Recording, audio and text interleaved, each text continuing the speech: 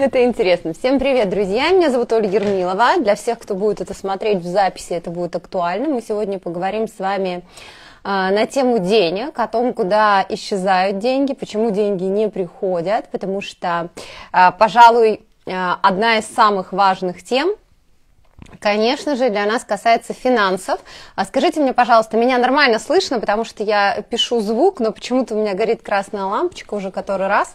Если вдруг меня перестанет быть слышно, дайте, пожалуйста, знать. Итак, а, пока вы включаетесь немножечко, я расскажу вам о том, чем я занимаюсь а, и в контексте чего мы будем говорить.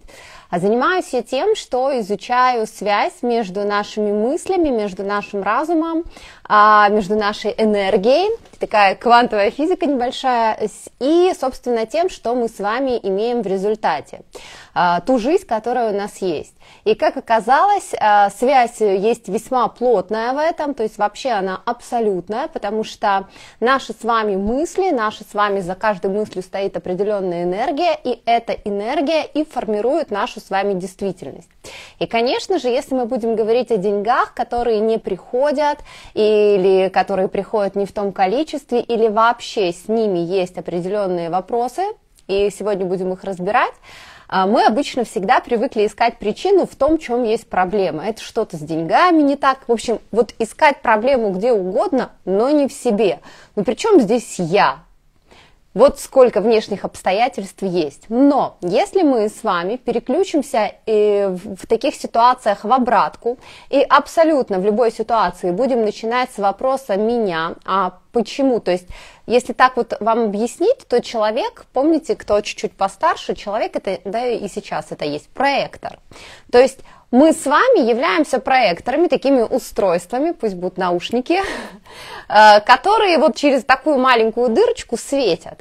И вот эта вот дырочка, которая светит, вот, вот э, мы с вами являемся вот этой штучкой, и все, что у нас есть внутри, в частности наши мысли, все это формирует таким сказочным образом нашу с вами действительность.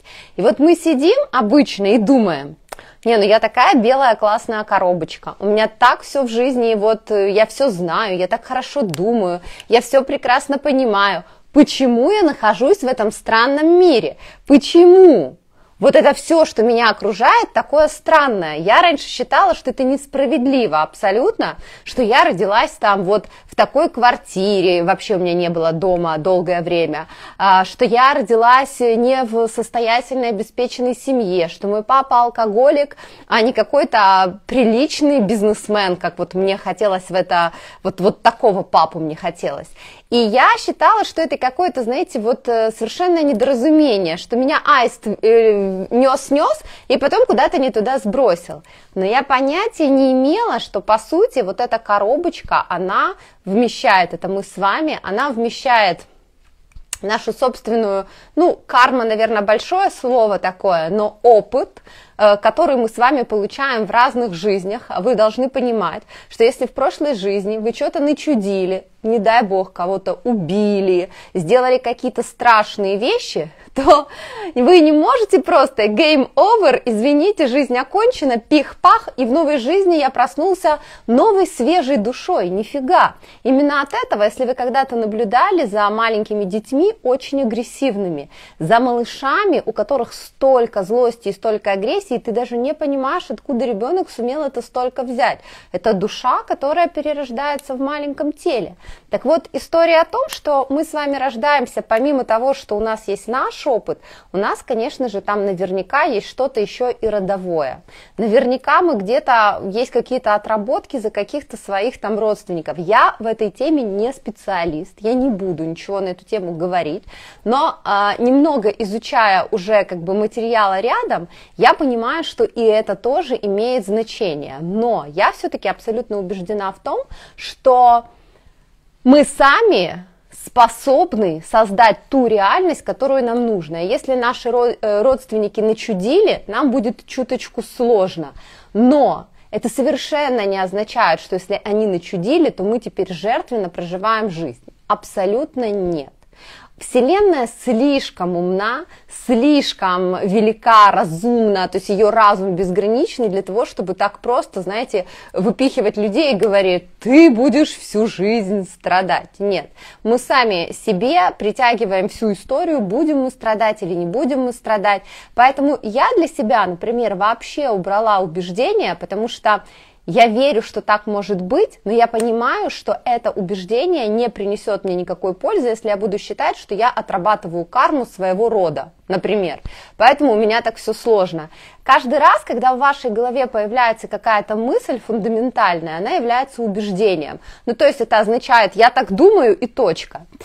И э, каждый раз задавайте себе такой вопрос, а мне с вот этим убеждением будет легче по жизни, оно мне помогает, или оно меня, знаете, ну вот все, это вот как не люблю эти примеры, но вы знаете, как врач, например, он говорит человеку, ты не будешь ходить. Я недавно была на соревнова... на сборах танцевальных э, по бальным танцам, и там э, моя Ева была неделю, и в конце у них такие показательные красивые выходы, э, выходят дети, ну и взрослые, короче говоря, они выходят там по группам, э, возрастным категориям, короче.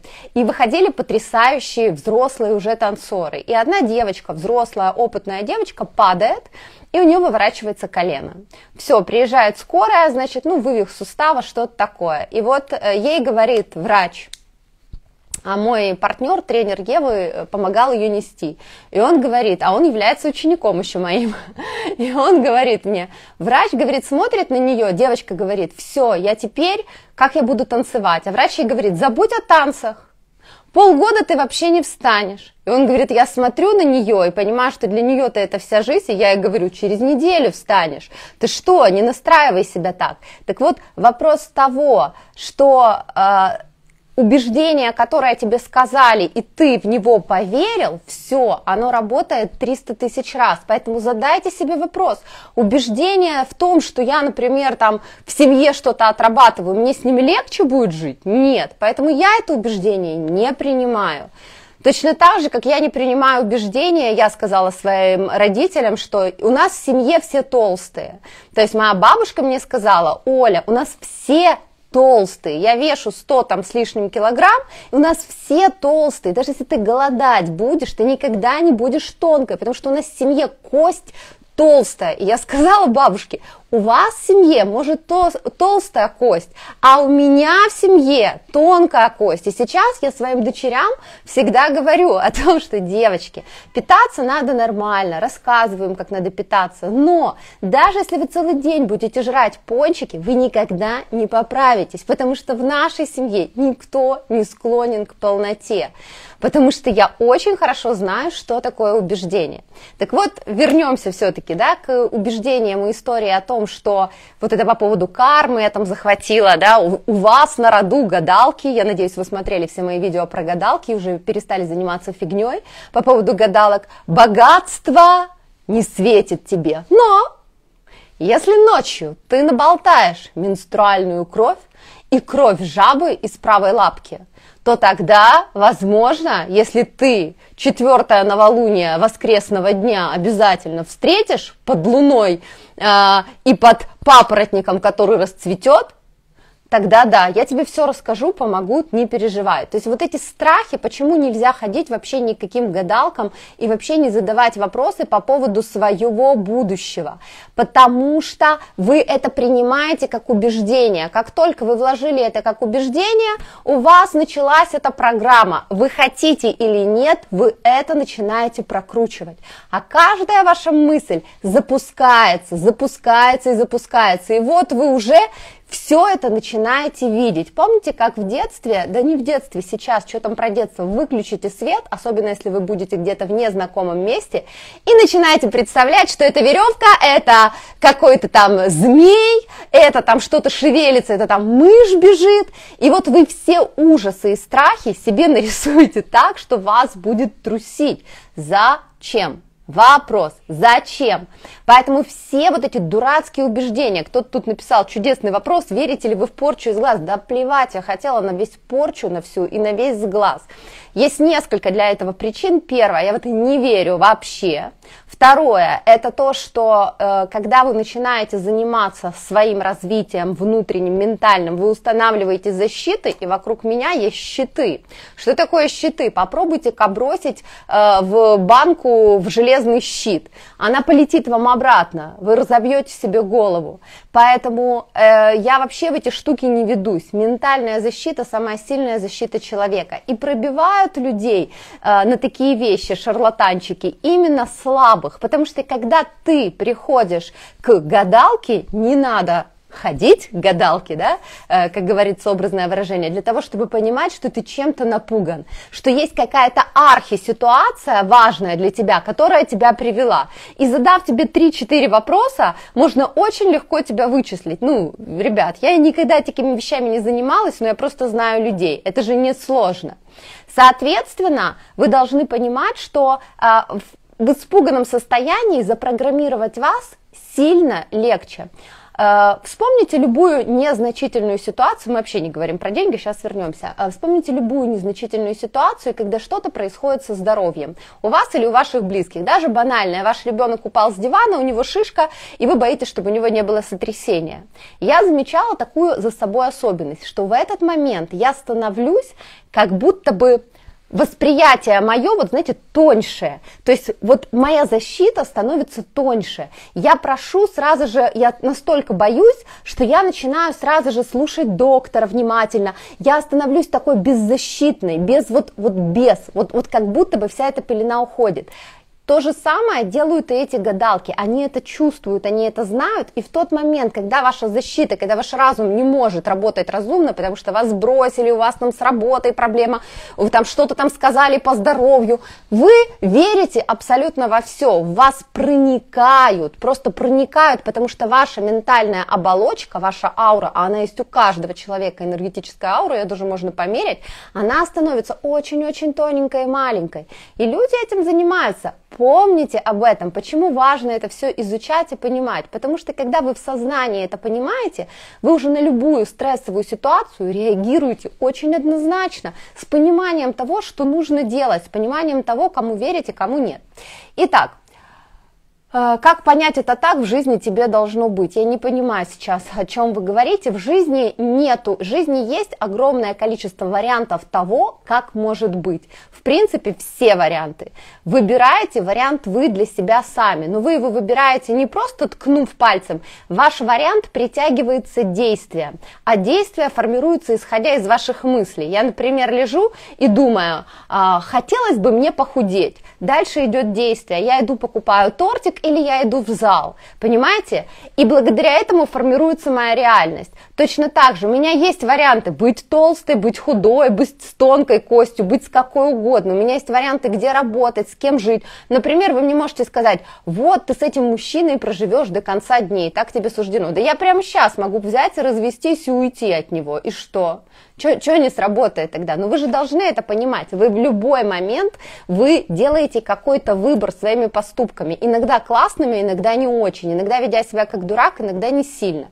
Итак, а, едем а, дальше. Давайте все-таки вернемся к деньгам. Да, я заявляла тему деньги. Это будут люди, которые скажут, Оля, что такое, что происходит. Значит, что происходит с деньгами? Во-первых, что мы должны знать про деньги? Деньги это всегда энергия. Вообще все энергия, и деньги это энергия. И в зависимости, вот смотрите, например, как нам приходят деньги? Через разные штуки. Есть момент работы, реализации нашей, есть момент через других людей. Это может быть наш партнер, мужчина или женщина, потому что вы же можете быть мужчиной и смотреть, и через женщину мужчины тоже очень многие получают деньги. В прямом или в переносном смысле. Если хватит времени, это покопаем. Соответственно, они к нам получ... поступают либо через нашу реализацию, через нашу пользу, которую мы даем миру, да, мы моем полы или мы строим дома. И заметьте, в зависимости от того, насколько наша польза велика, мы и получаем деньги. Что такое, э, возвращаясь к энергии, насколько ты в емкости вместим? Человек энергичный – это человек, который всегда стремится куда-то развиваться. Он даже приходит куда-то работать, например, и он все время инициативный. Он проявляет все время инициативу, а давайте это, а давайте то, а давайте все, а давайте пятое, а давайте десятое, и он все время двигается. У него вот этой энергии много, и, как правило, в таких людей заходит много денег – По крайней мере, у них есть этот потенциал. В истории того, когда человек сам по себе мелкий, когда он все время, у него все время низкие вибрации, он все время жалуется, он все время всех осуждает, он все время засматривается в другие миски, почему ему столько заплатили. Вот, вот он мелкий, вот вы его даже чувствуете как мелкого, вы с ним разговариваете, и у вас ощущение, что он еще у вас вот так вот, знаете, веревки из вас выпивает, он вас точно не окрыляет. Это история мелкой энерговместимости. Денежки приходят точно так же. Прежде всего, Первые моменты, конечно же, с которыми нужно разбираться, это те убеждения, которые есть вокруг денег. Причем, что я заметила, они бывают у разных людей. Есть огромное количество людей, которые родились в бедных семьях, но при этом настолько, и я из этих людей, которые настолько всегда верили, что деньги это для них, что благо это для них, что в мире столько всего, и я точно это получу, что деньги приходили к нам разными ситуациями, разными случаями. Я очень хорошо помню, как я была в университете и на первом курсе. И у меня был очень маленький бюджет, у меня было 5 гривен в день, я помню, первый свой такой бюджет, это был транспорт. Потом там он по чуть-чуть начал расти, но незначительно. И я мечтала о том, чтобы у меня были деньги такие, чтобы я могла полноценно покупать обед в, э, в буфете, в университете. И я ехала в метро, и вышла из метро, э, шла на, тролли, на маршрутку, и по дороге меня, э, значит, э, отзывает э, иностранец, говорит им что-то hello, how are you, там, бла-бла-бла. Я, моя мама воспитала меня таким образом, что моя мама рассказывала мне все ужасные истории, которые с ней приключались. Все, все истории про маньяков, как подставляли ножи, как куда-то везли, моя мама рассказывала мне их все. И я по сей день, если вы подойдете ко мне на улице и спросите у меня, который час, то, скорее всего, я пройду мимо я не отреагирую на вас. Э, вот так вот я, вот, вот я просто стараюсь с, с миром, если я с ним не знакома, не сталкиваться. Вот это моя мама. Э, такое в меня заложило. И тут вдруг я останавливаюсь и почему-то начинаю на этого дядю смотреть. Я знаю, что сейчас все, все проститутки вокруг всех увозят на органы, я все это в 2000 году знала, но почему-то я остановилась. И он мне говорит, что типа, я фотограф, и у вас очень красивые волосы, а у меня были очень длинные волосы, как у моей Алисы, до попы, и я хочу вас пофотографировать. Я думаю, ага, конечно, знаю, я сейчас начнется. Он говорит, прям вот здесь. А мы находились, это такое э, в Дарнице, в Киеве такое место, парковое такая, вот так вот так идешь, тут вот маршрутки стоят, а тут тут прямо лес, ну вот, вот так вот, знаете. Он говорит, прямо здесь, давайте завтра. Я такая, вечером нет. Он, нет, нет, в такое же время. В общем, он меня пофотографировал, у меня есть до сих пор эти фотографии, их иногда выкладываю. А, и заплатил мне 20 долларов. Ну, это был просто пиздос. Это просто были для меня деньги, а я их очень сильно хотела. И, конечно, я не знала вообще, как мне, сколько это обедов, знаете, я всегда считала деньги там в сумках, в попугаях, там еще в чем-то. Это было для меня такое очень крутое счастье. И тогда я поняла, что деньги могут ко мне приходить. И, в общем, начались всякие разные истории. О, боже мой, простите меня, наушники. Хорошо, что это пустые наушники моих детей. А, это уже даже не работающие наушники, все, они уже потеряны. Короче говоря, это был такой вот мой э, финансовый опыт. Ну, конечно, он был не единственный, потому что он был разный. И когда я познакомилась со своим супругом, я притянула в свою жизнь такие суммы денег, э, о которых я мечтала, но план, как их получить, у меня полностью отсутствовал. То есть напрочь. Я вообще не знала, как эти деньги ко мне придут. Но я начала апеллировать суммами, вот то, чем мы сейчас занимаемся в рерайтере жизни. Когда девочки пишут э, и мальчики пишут книгу своей жизни и пишут о своей мечте, а потом говорят, Оль, ты знаешь, а я начинаю пытаться калькулировать, как заработать на такой дом? Я вообще не понимаю, как это сделать. Я понимаю, что мой муж будет долго работать, я буду долго работать. Вот мы всегда должны помнить о простой штуке, что варианты того, каким образом мы получим что-либо, нам прокладывать не нужно, потому что вариантов такое количество, множество в, э, в этой вселенной, которое мы и не предвидим. И каждый раз, когда мы прокладываем себе путь, мы тем самым ограничиваем э, мир, энергию денег, мы ее ограничиваем. Поэтому я всегда, например, в голове держу свою цель, что я хочу. Я точно знаю, что это хочу и должна захотеть достаточно много. Ментальные практики, которые связаны с «хочу», они обладают тем, что они расширяют энергию. Чем больше вы чего-то хотите и концентрированно в одну точку бьете ежедневно, тем больше количество вашей энергии вот этой становится. Но есть большое количество людей, у которых есть очень сильные убеждения. И причем эти убеждения, они как заборы. О чем я говорю? Ну, например, когда человек говорит, это невозможно, много денег не заработать. У меня есть знакомый, который заработал много денег, но его посадили. Политики много денег зарабатывают, но их сажают. А вот Оля говорит, что много денег это счастье. И когда в вас присутствуют вот такие штуки, вы э, можете, знаете как, вы типа плывете, но оказывается, что вы привязаны, потому что вы знаете, что вы можете утонуть, и это иллюзия. Вот это убеждения, которые мешают вам двигаться. И убеждения это то, что мы всегда должны вскапывать, потому что, ну, простите э, за сравнение, это как колорадский жук. Он сжирает вашу картошку. Вы можете ее бесконечно там сеять, засевать, но жук у вас торчит э, и все время жрет ее. Вот ваши убеждения в том, что невозможно, не могу, э, деньги это плохо, э, деньги могут мне принести какой-то вред или злость, это такая постоянная пульсирующая волна, которая не дает вам сдвинуться. Это, кстати, касается не только денег, это касается всего, но давайте я не буду вас сейчас сильно размывать. И получается, что вот это ваше внутреннее ограничение, стоп-кран, а, который еще касается того, что дорогие вещи это говно, люди дебилы, что они их вообще покупают, дорогая машина, да нахрен нужно, дорогое жилье, это за него сколько платить надо, это все по копеечке, по копеечке вашу энергию денежную очень сильно уменьшает. И вы не в состоянии энергетически это принять. Знаете, что происходит с людьми, которые энергетически не в состоянии принять а, силу власти? Вы заметили, если посмотреть, например, на Украину особенно, я не очень люблю политику, но это очень классные примеры, а, что, например, к нам заходит Ющенко, президент, и его валят. Где он сейчас там? Не знаю. Заходит Янок, Янукович, его валят. Сейчас будет то же самое с Зеленским. Я когда-то спросила своего ментального ментора своего по а, практикам, которые я изучала, я говорю, слушай, а что происходит? Ну как так? У людей, это же нужно иметь определенную энергию, не каждый может стать президентом, не так это легко, как кажется, даже по энергии, попробуйте. Она рассказала мне очень такие интересные вещи, там про ментальную э, карту человека, про перешивание, про обряды, которые делаются. Я не знаю, правда это или нет, но я не буду об этом рассказывать сильно. Но она сказала такую штуку, что когда человек получает больше, чем в состоянии вместить, происходит какой-то апокалипсис. Посмотрите, пожалуйста, сейчас на э, историю того же Янока. Я бы не пожелала себе такой жизни, потому что человек был настолько а сейчас он, я не знаю, как он может жить сейчас вообще. Ну, представьте, чувак вообще лишился нормальной жизни напрочь.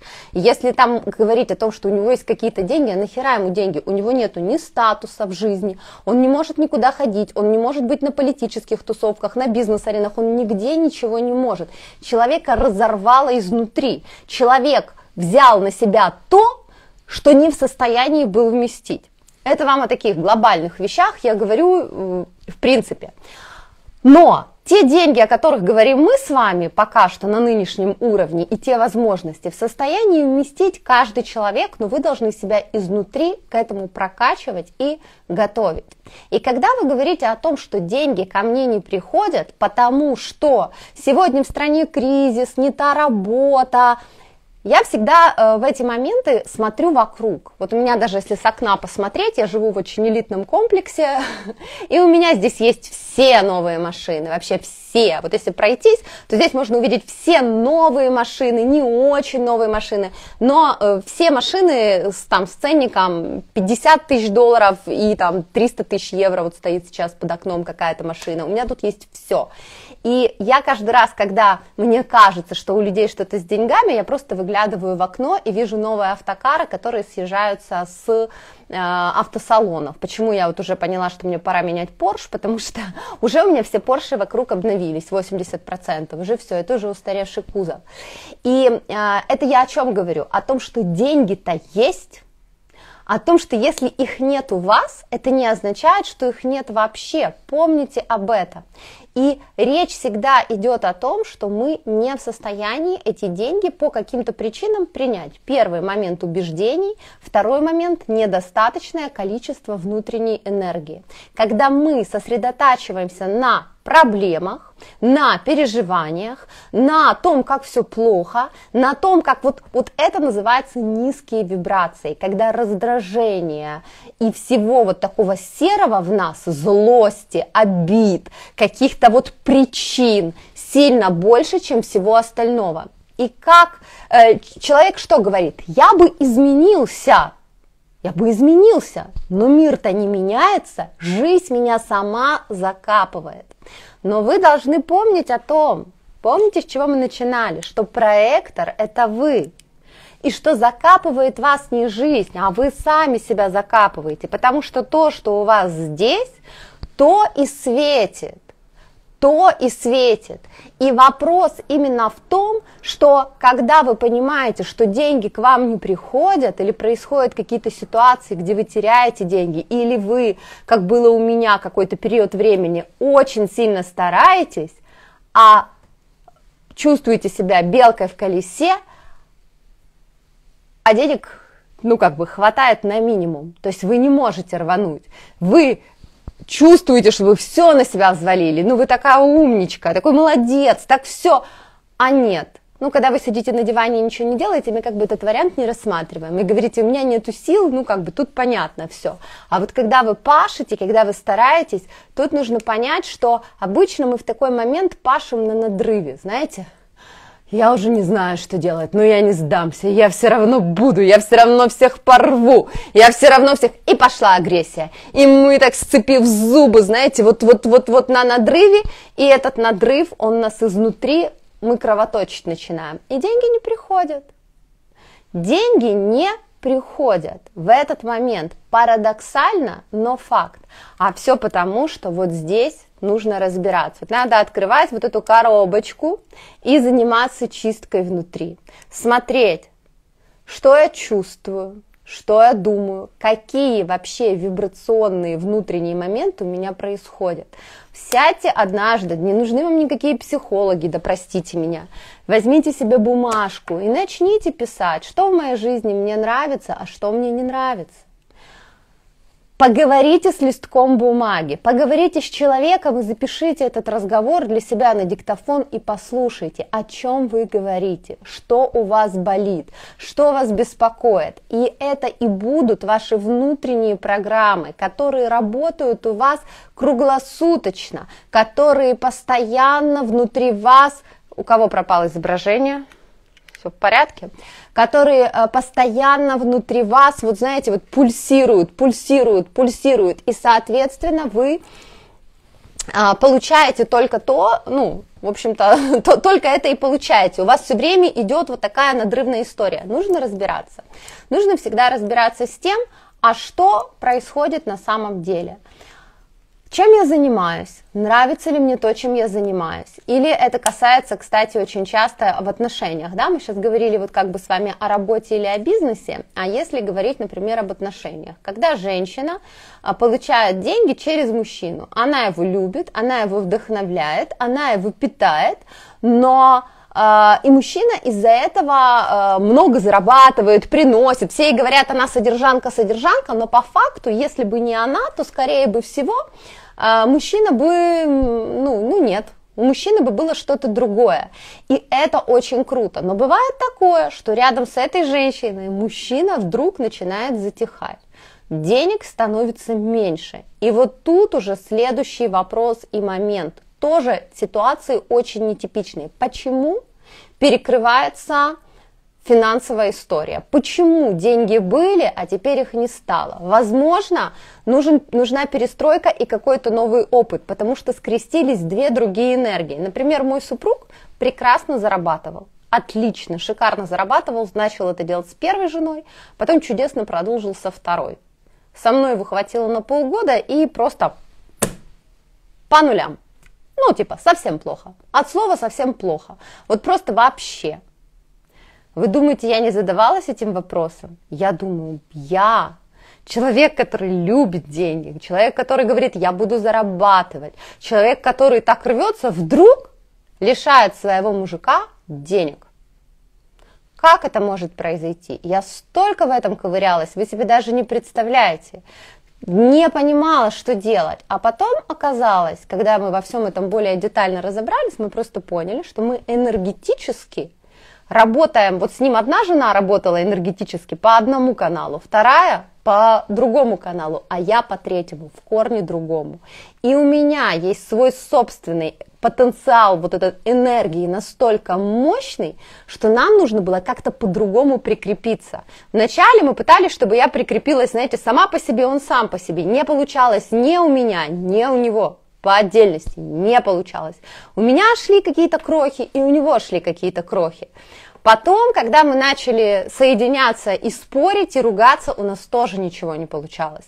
То же самое, какие-то войны и крохи. И только когда мы приняли, что мы команда, и что энергия денежная заходит через меня, но Сережа это бэкграунд, который все выстраивает, где я являюсь фейсом, а он является, вот мы это между собой решили, мы перестали друг на друга наезжать, спорить, кто же все-таки зарабатывает в нашей семье, нормально ли, что зарабатывает женщина, а зарабатывает ли женщина вообще, а зарабатывает ли мужчина, что ты делаешь, чтобы зарабатывать. Когда мы вот это внутри все с ним проработали, это дало два результата. Первое, это дало денежный поток, Второе, это дало крутые отношения, потому что я недавно писала вам пост, и я хочу, чтобы вы услышали, что любые наши так называемые проблемы с деньгами или с личными отношениями, вообще любые, фишка в том, это я уже четко поняла, не чтобы, вот мы всегда мечтаем о чем, вот у меня долг 100 тысяч долларов, я хочу зарабатывать 150 в месяц, ну условно, или я хочу просто 150 заработать, чтобы 100 отдать долг, 50, значит, у меня осталось. И мы все время думаем об этой цифре. Но и злимся. Почему этой цифры нету? Ну почему? Ну почему? А фишка в том, где бы вам порисовать тут у моих детей. Сижу просто в детской комнате, но вы уже заметили это. Сейчас я вам нарисую. Я шикарный художник. Хотела сказать, что я плохой художник. Вспомнила, что нельзя же так говорить. Но тут будет свинья, поэтому, простите, будем рисунок со свиньей. Значит, э, фишка в том, что у нас есть две точки. Ну, давайте, такие модные, да, точка А и точка Б. И вот кайф наш со свиньей. Свинья идет из точки А в точку Б. Кайф наш не в том, мы все время думаем о точке Б и злимся постоянно, что мы не на точке Б. Мы все время хотим на точку Б. Мне нужны деньги, мне нужна машина, мне нужны отношения. Мне... Мы все время. И мы, Оля, но ну я уже об этом думаю, медитирую, говорю целый месяц, я не в точке Б. И мы по этому поводу страдаем. Но у Вселенной план другой. Я уже с ней об этом поговорила. Фишка в том, что пока мы идем из точки А в точку Б, вот тут происходит самое интересное, потому что здесь мы получаем те новые навыки, мы развиваем характер, качество, мы меняемся. Наша жизнь – это и есть процесс изменения. Вы же понимаете, что обидно заработать на э, там, машину, дом и все, и умереть. Мы уже все знаем, что голые пришли, голые уйдем, не утащим с собой. Но вот этот путь наш внутренний, который формирует в нас совсем другую душу, другую жизнь, другое отношение. Я раньше была вообще несносным человеком. Я, ну, абсолютно несносным, грубым, э, вредным, нетерпеливым, ну, вообще другим человеком. И менялась по жизни неоднократно и наверняка поменяюсь еще. Потому что жизнь учит, потому что в момент, пока я это достигаю, я прохожу по каким-то ямкам, по разным местам, и я трансформируюсь и меняюсь, точно так же, как наше тело, да. Например, говорят, как вот ты похудела? Я говорю, ты роди двоих детей. Роды женщину меняют, физиологически в том числе, потому что ты становишься, возраст тебя меняет, ты тут суши становишься. Вот я смотрю на девочек в 16 лет, они все равно все кругленькие, мордочки, у нас, у нас таких уже не будут, у нас уже вот такое начинается, и так далее, и так далее. Так вот, вот этот путь, это в этом и есть фишка, потому что все самые сладкие вещи, которые по жизни затем вам помогают и дают ощущение счастья, это не точка Б, Это то, что вы вот тут вот проходите. Поэтому, когда вы говорите о том, мне тоже всегда страшно хочется результата, но я понимаю, что, например, ту терпимость, выдержку, которую я развила по жизни сейчас у себя, я никогда бы не развила, если бы я сразу же все получала. Посмотрите на ребенка, которому все сразу даются. Мы говорим, мы капризные, несносные дети. Нет, он тоже должен заслужить, он должен пройти, он должен... Представляете, если бы мы детей могли рожать, не 9 месяцев вынашивать их, а на каждый день. Вы представляете, что бы вообще творилось, сколько бы было вообще испорченных, искалеченных жизней, если бы мы могли ими, простите, плеваться. Такие, как, знаете, как яйцо. Пошла, вот ребенок. Думаешь, да, блин, этот вредный нахрен иди отсюда, завтра новое снесу. Ну, все же это понимают. Материнство, когда девочка беременеет или мужчина, неожиданно это происходит. Ты думаешь, что я буду делать вообще с этим ребенком? Я вообще ненавижу детей, я их не люблю.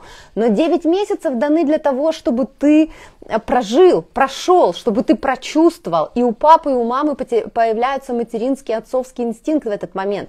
Все происходит вот таким образом. Помните об этом. И вы должны понимать, что история про деньги – это не история про то, что ты лох, а я классная. Про то, что он смог заработать, а ты козлина такая, не смог заработать. Нет. Это история про изменения, про тот путь, который я выбрала для того, чтобы раскачать себя внутренне и быть готовой это принять или нет. Но есть же вторая штука прикольная. Она очень крутая. Я ее тоже, вот э, я, наверное, все-таки вселенная меня благословила на разные приколы, а, и я по полной это отживаю все, все штучки. Это крутая вещь, когда ты много очень заработал, а потом у тебя забрали приход. У тебя все осталось физически, а приход забирают. Ты не можешь понять, ты вроде был раскачан, ты эти суммы денег принимал, ты легко с ними жил, а потом раз они к тебе перестают приходить. Это тоже история о том, что из точки Б есть точка С и точка Д, и путь этот продолжается все время, и что в какой-то момент ты смог это сделать, а сейчас ты что-то делаешь не так. Твои энергетические каналы закрываются. Ты стал себя жалеть, ты стал на низких волнах находиться, ты стал много обсуждать, ты стал завистлив, ты пошел не на тот путь, ты стал делать то, чего ты не должен был делать. Твой путь, он другой. Вот чувствовать, я сегодня записала видео, оно немножечко по-другому, в другом контексте, но называется оно там эффект каната. Так вот, наш путь – это тоже такой некий канат, который по жизни такой, знаете, извилистый. Вот эта веревочка, помните, у все, наверное, у бабушки моточки пытались, там бабушка коврик связала, потом его обратно развязала и говорит тебе, собирай моточек. И ты смотришь, это куча вот этих вот ниток напутанных. Ты думаешь, господи, какой моточек? Сегодня уже можно пойти бабушке купить просто новые нитки, а раньше же было так, свитер распустили на коврик, потом коврик на свитер. И ты смотришь на кучу вот этой каши, и тебе нужно потихонечку тянуть и не дернуть, чтобы не разорвать порвать нитку, потому что бабушка тебя накажет. То же самое и здесь. Когда ты запутался, ты должен четко разобраться. Вот у меня такое было. Когда с доходов там 130 тысяч долларов в месяц, ты такой раз и начинаешь терять, терять. Ты не понимаешь, ты делаешь то же самое, у тебя все то же самое происходит, а деньги не приходят и ты внутренне начинаешь сдуваться, и ты начинаешь искать ответы на вопросы, и ты, и это тебя развивает, и в итоге ты благодаришь эту ситуацию, потому что ты понимаешь, что ты как ресторан, знаете, открывается модный ресторан, кажется, что там он забит людьми, все круто, проходит 10 лет, вот я сейчас просто езжу по трассе, ребенок занимается, и там была трасса самых модных ресторанов, Вообще, вот когда я начинала свадьбы, это были просто пиздос какие крутые рестораны.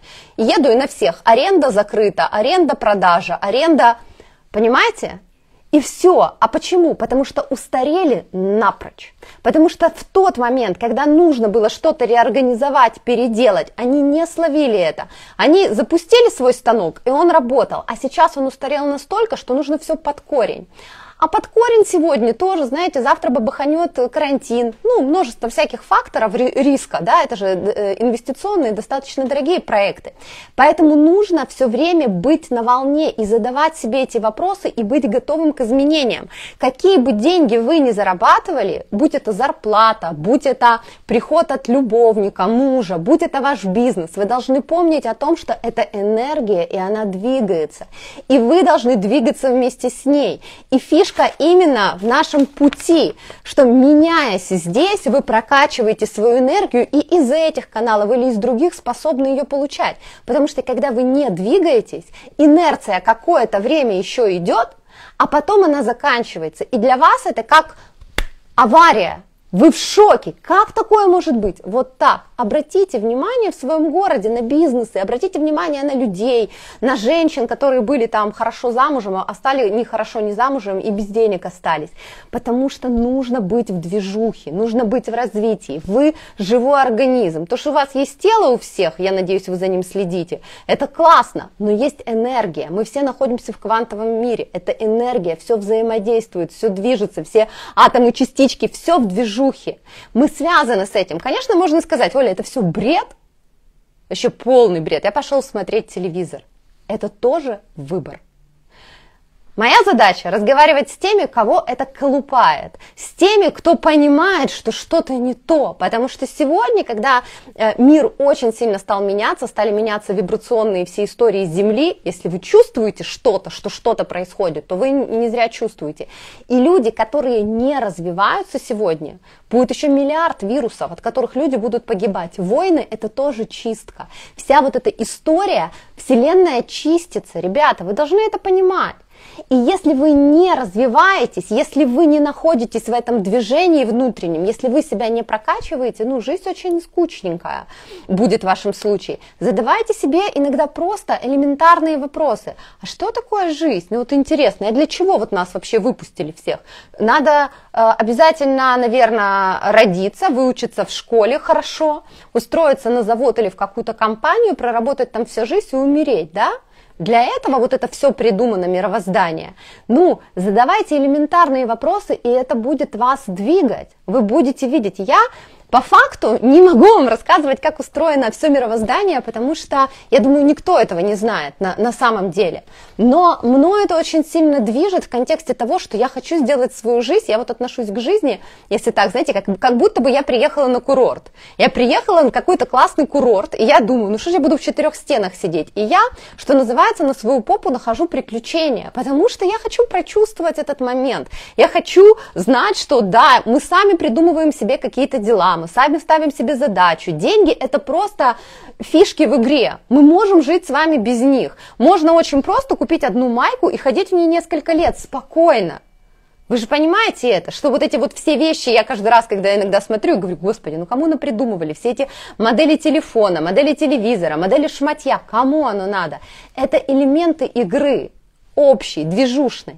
Поэтому наша задача себя раскачивать изнутри. Поверьте мне, если вы просто начнете задаваться этими вопросами, если вы просто начнете задавать себе вопрос, а чего я хочу, если вы просто начнете ставить себе какие-то первоочередные цели ради прикола, а смогу или не смогу, а что я могу сделать, чтобы это смочь, вы начнете двигаться в другом направлении. Вы вылезете из песочницы, в которой все время проблемы, вы вылезете из песочницы, в которой все решено все уже решено за нас, да, вот как я смотрю, ну, простите, людей, которые, ну, я пережила сама несколько этих майданов, людей, которые выходят за какую-то идею, там людей этих раскачивают, накачивают, а потом идея поменялась.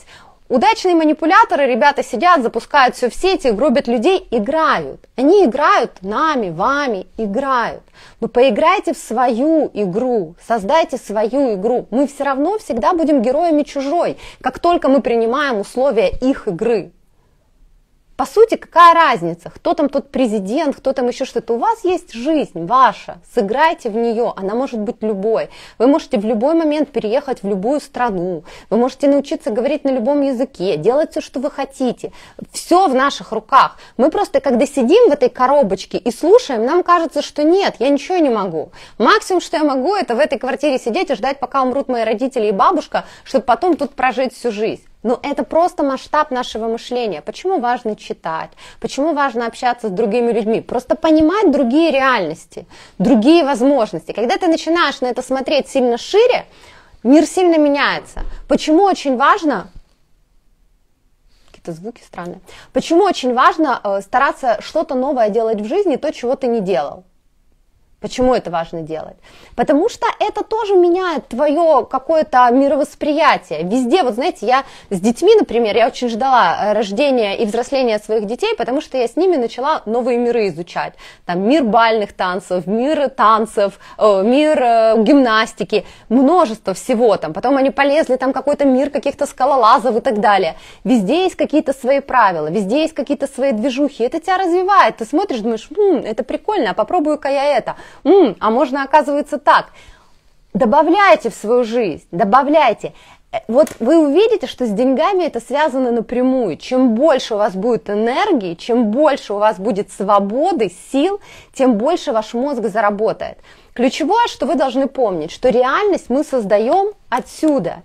И все, что мы, опять-таки, я буду это говорить много раз, все, что мы сюда положим, то мы в итоге и получим. Да, это не происходит, знаете, сразу, типа, о, зарядили, пум, пульнули. Нет.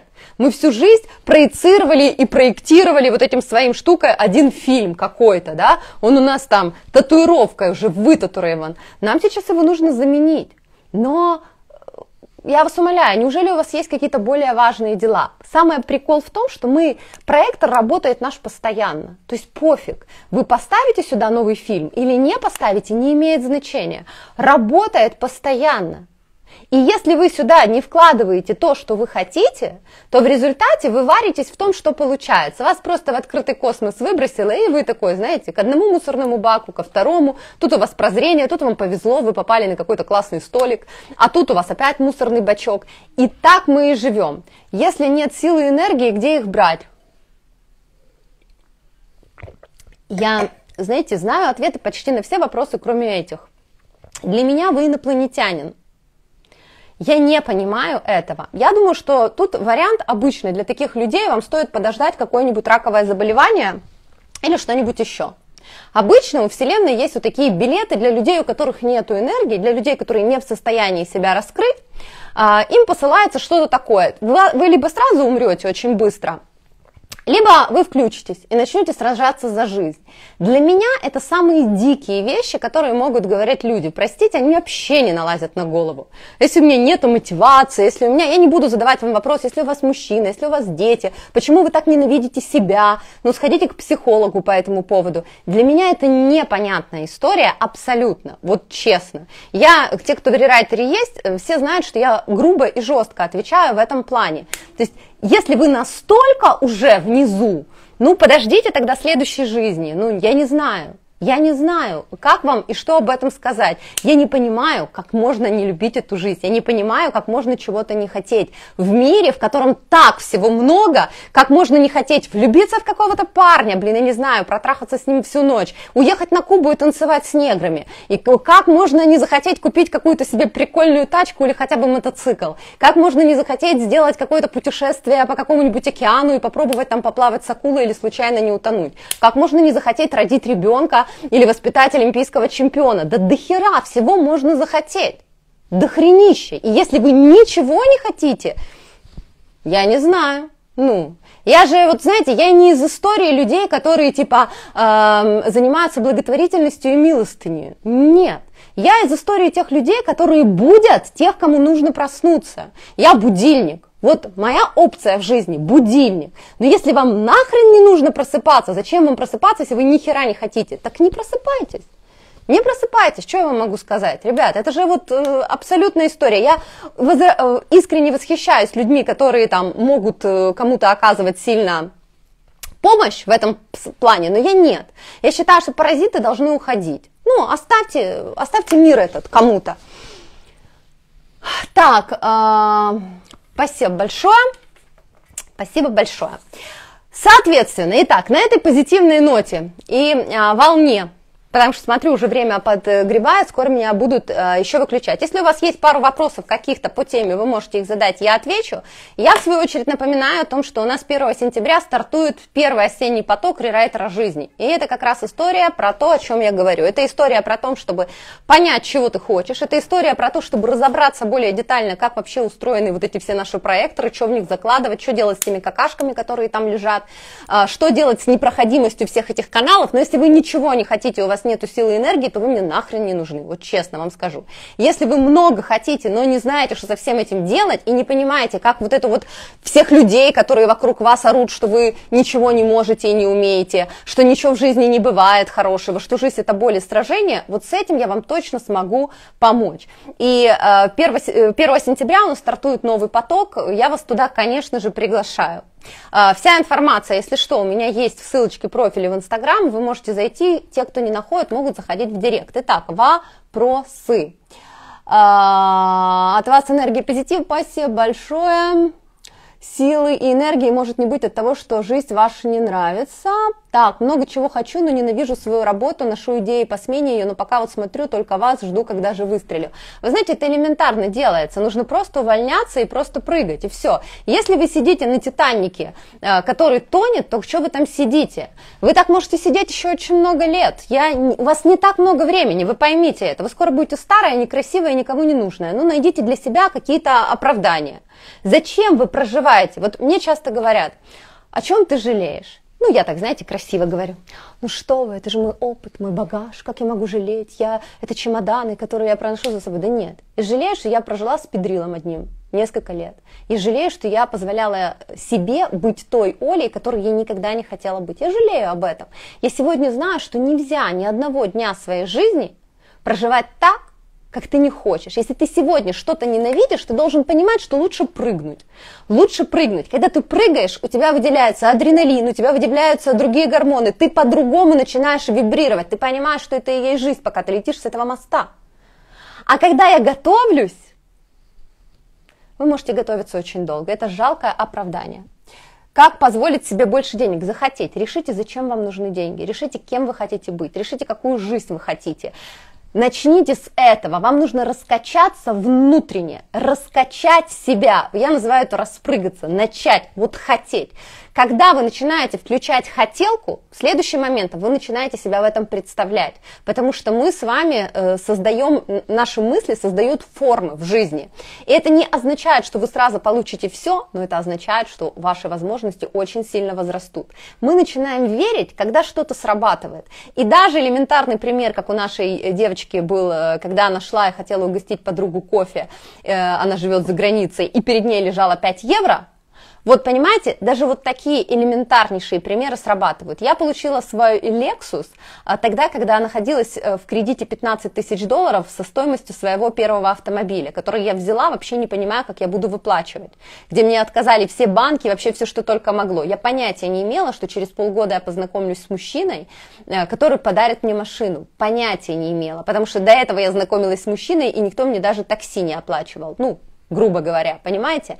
Поэтому вопрос в том, что я психанула и подумала, да насрать, я хочу машину, сейчас я могу себе позволить вот такую кредитную машину, и то не до конца. Сначала ввяжемся, потом разберемся. Вы должны совершать действия, вы должны энергетически двигаться. Так, иду с вами 1 сентября, здорово. Когда вы еще будете в прямом эфире, не знаю, следите. А, много чего хочу, вижу свое будущее, но много лет не получается прийти к этому. Значит, вы что-то не то делаете. Знаете, это как вот э, у меня есть подруга, которая занимается э, питанием, диетами. Она говорит, вот девочка мне рассказывает, я не могу похудеть, я не могу похудеть. Сама целыми днями, значит, там в перерывах э, ест там лата, с утра она ест гранулы. Короче, она за день съедает где-то 5000 калорий. Но девочка понятия не имеет, что такое калории. Она считает, что она ест немного и что это полезная пища. То есть, понимаете, вот мы очень часто, нам кажется, что мы достаточно умны, это наша беда. Нам кажется, что я все знаю, все, ни хера ты не знаешь, если у тебя ничего не меняется. Вы должны понимать, что вы знаете о еде тогда, когда вы можете управлять своим весом или там теми вопросами, которые вам нужны. То же самое и в жизни. Если вам кажется, вам просто кажется. Вам просто кажется, потому что если бы вы делали, вы бы видели результаты. Невозможно не увидеть результаты, когда ты делаешь. Не очень быстро, быстро, по-разному у всех. Я, к сожалению, не могу каждого жестко отследить. Почему, например, круто в рерайтере находиться в обстановке? Потому что, например, человек свою ситуацию рассказал, ну, применил, скажем так, ту информацию, которую я дала по отношению к своей ситуации так. Но есть еще 200 человек, которые рассказывают свой опыт, и вдруг человек видит со стороны на чьем-то другом опыте свою ошибку. То есть вот это круто. Когда мы, вот знаете, это вот как и танцоры. Почему есть эти сборы? Потому что ты варишься в своей кашке, и тебе кажется, я хорошо танцую, но потом ты выходишь на паркет и видишь, блин, а этот танцует круче, а у этого какая мимика, а этот какой костюм купил. Мы все время, вот эта соревновательная среда, сравнительная, даже не соревновательная, сравнительная, она двигает. Нам нужны эти сравнения. Поэтому, если вы там сами себе сидите, меняетесь и думаете, что-то не то, вы что-то явно не то делаете, приходите и посмотрите. Так, уходить из жизни не вариант, это не выход. По-моему, прекрасный выход. Вы давно преподаете рерайтер, Хороший вопрос. В марте у меня был первый поток или в апреле, не помню точно, ну где-то так. Были ли изменения в марафоне с самого первого? Марафон все время дополняется, все время дополняется, скажем так, а, были. Вот. У нас много всего и добавлено, и переписаны все занятия, если вы об этом. Очень много бонусных занятий, которые добавляются с каждым абсолютно потоком. Я добавляю минимум 3-4 видео, очень много усовершенствований, медитаций и так далее, и так далее, добавляется постоянно. Для меня это абсолютно живой продукт, который я регулярно переделаю, я думаю, пройдет еще пару месяцев, я его полностью перезапишу. А, но я все время его дорабатываю. Он живой на 100%. И все новое, то, что появляется, я даю девочкам, я даю в клуб. Сегодня у нас стартовал уже биг клуб. А, у нас первый наш самый поток закончил четырехмесячный клуб. У них получилось не три месяца, а четыре. То есть они прошли марафон, потом они прошли четыре месяца. И сегодня они слились уже в большой клуб, где они будут находиться уже столько времени, сколько захотят. Все время работаем, у нас добавляются и кинозалы, и плейлисты, и медитации, много много всего. Вот на, в четверг я буду записывать новую медитацию здоровья. Классную нашла, в общем, много. Мы все время работаем над этим. Так, как знать, что ментально я могу вместить то, что хочу, прокачивать себя постоянно? Как знать, а вы поймете это. Как только вы начнете получать все, что вы захотите, значит, вы уже готовы к этому. Так, э, та-та-та, я их совершаю, из долгов никак не выберусь. Ну вот вы написали, из долгов никак не выберусь, это ваше убеждение уже, которое здесь написано, оно у вас циркулирует, что я не могу выбраться из долгов. Оно у вас все время работает, поэтому вы из них и не выберетесь, потому что говорите о долгах. Так, э, большой словниковий запас, певно, багато читаєте книг. Спасибо, я, наверное, просто болтуха, но читаю я, да, действительно много, особенно сейчас, потому что мне очень нравится э, тема так, окей, окей. Еще раз, всем большое спасибо за этот чудесный прямой эфир. Я буду стараться делать их максимально часто, насколько смогу. Вы можете писать вопросы, которые вам интересны, будем их э, подбирать, добавлять. Повторяю, что я вас приглашаю всех в сентябрьский поток. С 27 числа у нас стартуют э, пробные, продажа пробной версии, которую вы сможете приобрести и, собственно, попробовать э, уже на деле, что такое рерайтер жизни, написать с нами первые две главы своей книги, потому что мы пишем книгу, побыть в общем чате, получить разные уроки, которые есть, прослушать медитации. В общем, мы даем такую возможность всем людям, которые хотят себя в этом испробовать. Если вы уверены, что вы хотите к нам, сейчас вы можете попасть в марафон со скидкой, потому что у нас все время цена ближе к дате э, начала все время повышается. Поэтому, пожалуйста, я буду вас всех рада очень видеть. Это действительно очень сильный крутой марафон. Я бы даже сказала, что это не марафон, это ваш новый образ жизни, потому что после месяца марафона у нас начинается клуб, который по сути первый идет у нас три э, месяца, а дальше мы можем находиться там на постоянке. Продукт, который постоянно живет, это не история о том, что я что-то записала, отдала и живите своей жизнью. Нет, лично всегда отвечаю, каждый день в чатах, консультирую, помогаю, добавляю, дополняю. Мне очень повезло, потому что я нашла то, чем я занимаюсь с большим удовольствием. И я надеюсь, что меня хватит надолго. И так будет. Все, друзья мои, улыбаюсь, люблю вас, обнимаю вас. У нас осталось ровно минута 49. Это был замечательный эфир. Все, до встречи на рерайтере.